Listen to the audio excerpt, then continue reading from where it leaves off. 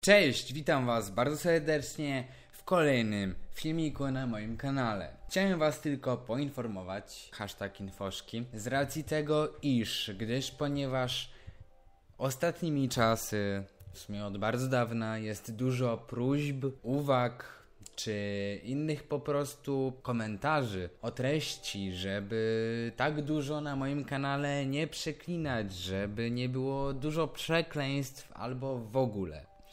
Dlatego z dniem dzisiejszym informuję Was yy, z moim lekkim bólem serca, ponieważ dla mnie to będzie wielkie wyzwanie, że z dniem dzisiejszym, niestety dla mnie, ale myślę, że będzie to bardzo korzystne przyszłościowo na moim kanale, przechodzimy na family friendly content. Zero wulgaryzmów. Takich oficjalnych typu, yy, wiecie, yy, tylko po prostu będzie już ładnie, spokojnie, kulturalnie, bo potem jest dużo problemów z monetyzacją, jest dużo problemów, że niektórzy tego nie mogą oglądać słuchając moich przekleństw, bo jest ich naprawdę bardzo dużo.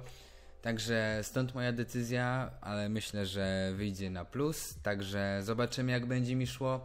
Życzcie mi powodzenia. No i cóż, teraz ci, którzy nie mogli mnie oglądać, bo przeklinałem mogą powrócić do oglądania moich filmów, tych co teraz będą już bez przekleństw. Będę starał się jak najmniej, a najlepiej wcale nie przeklinać.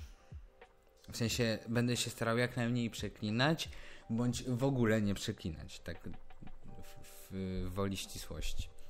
No, także to tyle. Ja się łączę z samym sobą z bólem serca, a Wam życzę przyjemnego oglądania moich kolejnych filmików już z pełną kulturką.